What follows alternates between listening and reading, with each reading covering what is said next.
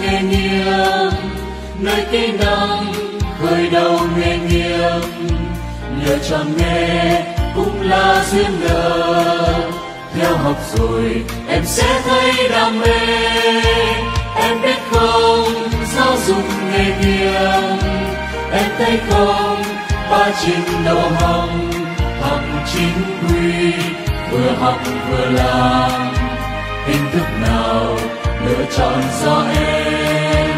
Em biết không, đào tạo theo mô đun đào tạo theo tín chỉ. Theo niên chế học liền không nghỉ hình thức nào lựa chọn do em.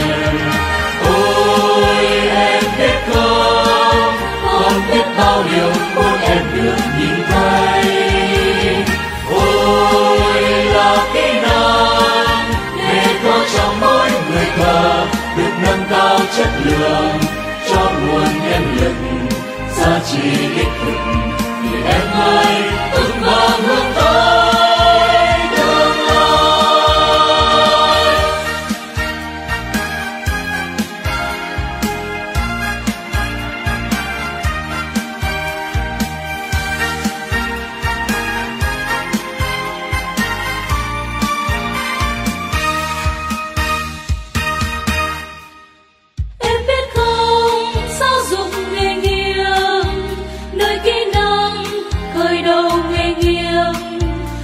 tròn mê cũng là duyên nợ.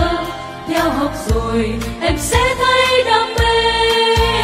em biết không, giáo dục nghề nghiệp em thấy không, ba trình độ hồng hồng chính quy, vừa học vừa làm hình thức nào lựa chọn do em em biết không, đào tạo theo mô đun ta theo kiên trì, theo niên chế học liền không nghỉ hình thức nào lựa chọn do em.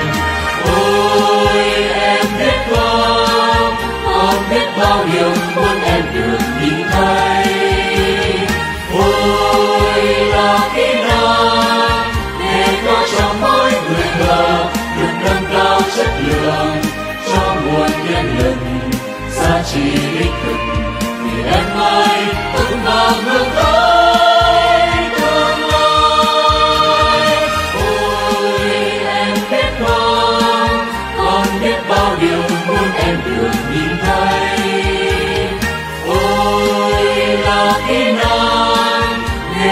trong mỗi người thờ được nâng cao chất lượng cho nguồn nhân lực.